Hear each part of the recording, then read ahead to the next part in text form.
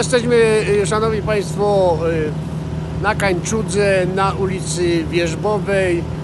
Y, Sytuacja no, jest dość, może niepoważna, jednak tutaj sześć domostw mamy zalanek, w sensie ogródków.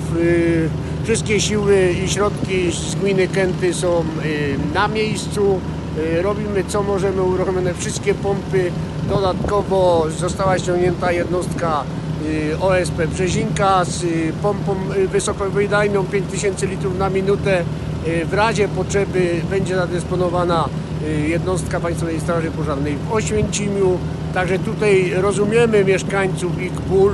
Nie, niemniej jednak y, proszę y, nam wybaczyć, ale my wszystkie siły i środki skierowaliśmy tutaj w to miejsce, gdzie realnie jest największe zagrożenie i robimy co możemy, aby zminimalizować po prostu ten dopływ y, tej wody. No jest to można powiedzieć punktowo, na terenie Kent w miarę jest spokojnie, natomiast no, ta lokalizacja się tutaj zrobiła i obiecujemy, że będziemy dotąd działać, dopóki y, tym mieszkańcom nie pomożemy. Nawet później po ściągnięciu tej wody z ogródków będziemy robić wszystko, żeby zobaczyć jak piwnice i tak dalej.